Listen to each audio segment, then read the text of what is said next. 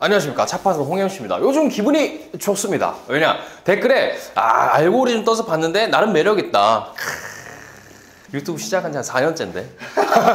이제야 알고리즘이 뜨셨네요. 자 오늘 어, 제가 판매한 차를 소개해드리겠습니다. 미쳤어. 30대 한정판.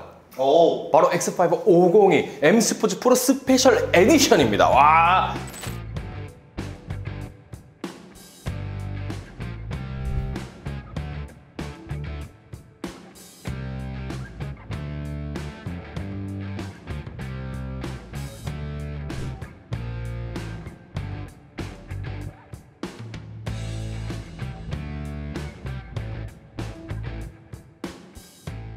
멋있다 처음에 살짝 측면에서 봤을 때 오피디 나 이거 BMW 아닌 줄 알았잖아 너무 예쁘다. 어, 진짜 너무 이쁜 것 같아요. 이게 Dravit Grey라는 어, 색상입니다. 그러니까 grey 색상인데 약간 조금 더 어두운 그런 색감인데 멋있잖아. 어, 진짜. 30대 한정판 포스가 납니다. 자, 차량가가 1억 4,140만 원이에요. 할인이 얼만큼 될까? 지금 50e 할인 거의 없잖아. 그렇지. 차도 없어요. 진짜로 차도 없는데 심지어 온라인 에디션 30대 한정판입니다. 할인 얼마일까? 600만 원? 아이 450만 원입니다.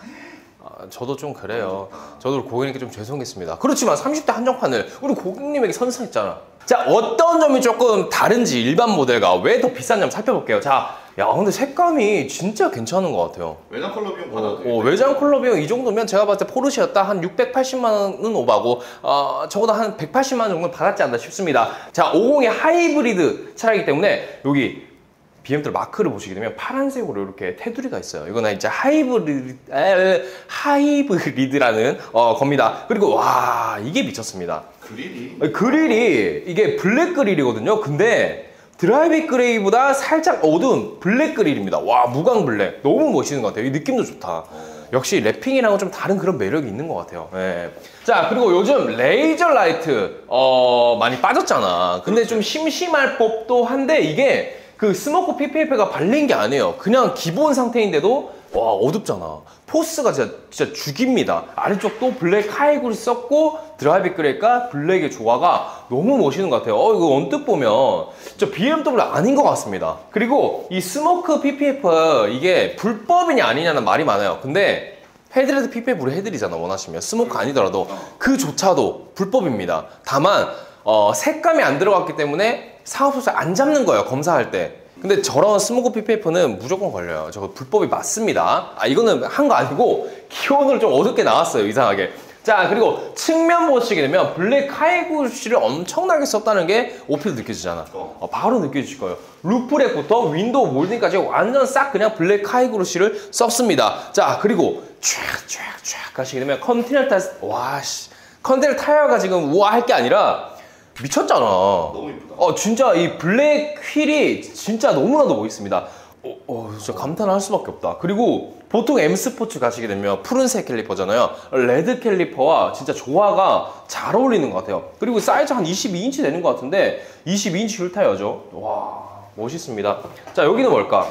나 전기 충전. 전기를 충전할 수 있는 플러그인 하이브리드 때문에 아, 이게 하이브리드라는 이게 그 잘 안 되네요. 이게 플러그인 하이브리드 차량이기 때문에 완충하면 얼마 간다? 77km 갈 수가 있어. 오. 그러니까 저처럼 출퇴근 거리가 하루에 나 한 10km 안 되지. 한 5km 정도 될 거예요. 그렇지.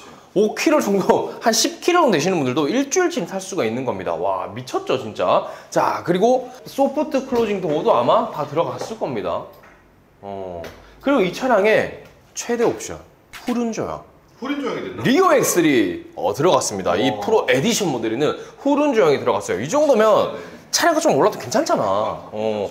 자, 후면부도 보시게 되면 사실 후면부에서는 뭐 크게 달라진 점이 없는 것 같아요. 물론 이 색감, 색감 좀 다르지만 그리고 아래쪽 보시면 이 부분이 달라요. 배기가 우리 아까 전면에 봤잖아, 그릴. 무광 블랙 high glossy를 썼습니다. 와, 이것도 상당히 멋있어요. 음. 하이브리드라서 배기가 좀 뭐 배기 소리가 안 날것 같잖아. 안 나더라고. 어. 근데 이게 지금 전기 모터 포함해서 어, 마력수가 총 313마력입니다. 오. 예, 이 정도면 막힘없이 달릴 수 있죠. 패밀리카 이 정도면 괜찮잖아. 실내 보이시죠? 조금 이따 보여드리겠지만 아이보리 시트. 아, 이 30대 한정판이기 때문에 색깔이 다 정해져 있습니다. 딱 요 색깔로. 예, Dravit Grey의 아이보리 시트. 자, 여기 앉으면 300km까지 버틸 수 있다, 없다? 있다. 있다. 그렇지만, 어, 시험을 해보기에는 제 차량이 아닙니다. 우리 고객님께서 안 좋아하실 것 같아요. 자, 트렁크 가득 넣어 들었잖아. 어, 그리고 트렁크 공간도 이 2열에 폴딩을 하게 되면 엄청나게 더 넓어집니다. 어, 진짜 광활해져요. 패밀리카로 쓰기에는 이만한 차량이 없을 것 아, 같습니다. 자, 후륜 조향에다가 이런 디자인, 그리고 휠도 원래 타이어도 21인치인데 22인치잖아. 어, 너무나도 괜찮은 것 같습니다. 이야, 베이지 시트. 제가 한동안 제가 차를 사면 무조건 베이지 시트였어요. 그렇지. 근데 관리가 굳이 할 필요가 없어요. 갈 필요가. 예. 그냥 가죽 코팅 한번 해주시면 한 1년, 2년 가는 것 같아요. 저도 뭐 청바지 자주 입고 뭐 정장도 많이 입고 하는데도 그렇게 더러워지지 않습니다. 단 더러워질 때 바로바로 닦아줘야 돼요. 예. 일단 전동 시트 이렇게 다 들어가 있고요. 뭐 메모리 시트 다 아시잖아. 근데 이게 또 뭐가 다르냐면 스피커 봐봐. 하만카돈 아니잖아. Bowers & Wilkins. 아, 이게 또 들어. 어, 갑니다. 시동 한번 켜볼게요. 여기 불빛 나오거든, 오PD? ambient light가 나오거든. 와, 이게 문이 열려서 시동이 안 걸리는 것 같아. 지금 여기 보시면 불빛이 들어와야 되는데 너무 밝아서 지금 ambient light가 안 들어오는 것 같습니다. 와, 이쁘지 않아? 너무 이쁘다. 너무 너무 괜찮은 것 같아요. 예. 와 신기하다. 문이 열려 있으니까 이게 시동이 자, 그냥 꺼지네. 자. 이 스피커 어, 너무나도 멋있는 것 같고 조금 ambient light를 보여드리고 싶은데 아쉽긴 합니다. 예. 자 steering wheel이 이게 항상 말씀드리잖아요. 베이지 시트잖아. 베이지로 가야 됩니다 이거. 예. 벤츠는 하는데 왜 BMW를 안 해요? BMW가 지금 판매는 더 높잖아. 그렇지. 어, 진짜 아마 우리나라가 어, 전 세계에서 BMW 판매량 3위 안에 들 겁니다. 벤츠는 거의 아시아에서 1위야. 아, 중국 빼고 2위. 예. 자, 안쪽 보시게 되면 냉온 컵홀더 다 들어가 있죠. 블랙 high glossy 마감이라서 진짜 깔끔합니다. 그리고 여기 여기 좀 불편하다고 하시는 분도 계시더라고. 어. 사용하다 보면은 사용하다 보면 어, 편해지실 거예요. 예. 그러니까 막 남자분들은 이런 거 많이 하잖아. paddle shift가 있더라도 왕, 뭐 수동처럼 이런 기어 놓고 수동 모드로 하고 싶은데 좀 이 paddle shift만으로는 부족할 때가 어, 없지 않아 있긴 합니다. 천장은 패브릭 어, 재질이고요. 이런 부분들 보시게 되면 X5 ambient light도 깔끔하게 들어가 있습니다. 1열 어땠어, 오PD? 어, 저기 잠깐 저기 보여? 여기 여기 ambient light 보이는 거 나온 거? 어, 잘안 보여. 약하기는 합니다. 예. 근데 ambient light가 나오고요. 위쪽에도 나옵니다. 이게 전동 트위터 같은 그런 느낌이죠. 예. 상당히 괜찮네요. 아, 근데 이게 실내를 더 보여드릴 게 없는 게 뭐냐면 나머지는 다 똑같아. 기능은. 그냥 이 시트 색상 Bowers & Wilkins 들어갔다라는 정도만 봐주시면 될 것 같습니다. 2열에도 Bowers & Wilkins 들어갔잖아. 와, 이거 진짜 이 스피커가 엄청 비싼 겁니다. 진짜로. 그리고 패밀리카니까 이거 있어야겠죠. sun blind. 야 2열에도 여기 보시게 되면 충전 단자가 있잖아, 오PD. 어. 이게 모니터 달 수 있게 어, 공간을 배치를 해준 겁니다. 이럴 거면 그냥 모니터 달아주지. 근데 또 그렇게 뭐 X7에도 어, 모니터는 이제 빠져서 나오니까요. X5 들어가면 좀 이상합니다. 그리고 M 스포츠니까 M 마크 보이시죠, 벨트에도. 음, 야 좋다. 사실 제가 X5는 X6보다 디자인도 좀 별로다 생각했던 사람인데 에디션 모델은 자부심을 가져도 될 것 같아요. 네.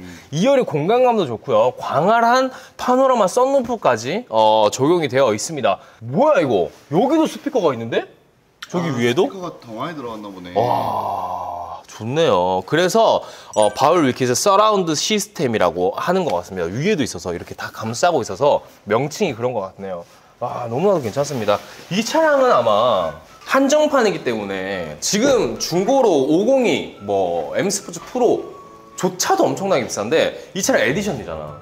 제가 봤을 때는 차량 단가 방어 엄청날 것 같습니다. 그리고 지금 X5 차량들이 알죠, 오PD 수출 다 빠지잖아. 어. 어, 그 정도로 인기가 많은 차량이 바로 이 X5입니다. 자, X5 50e 프로는 끝났어. 아니 아니 정확히 말씀드리면 이 30대 온라인 edition은 끝이 났습니다. 그렇지만 일반 프로 있잖아.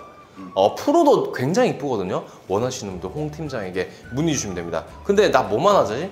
리스 렌트만 하지. 리스랑 렌트만 합니다. 예, 리스 렌트로 X5 50e 원하시는 분들 문의 주세요. 어디로? 차 파는 사람들에게 문의 주시면 됩니다. 감사합니다. 이번 차량은 뭐 할 거야 이제? 카이엔 쿠페 하이브리드입니다.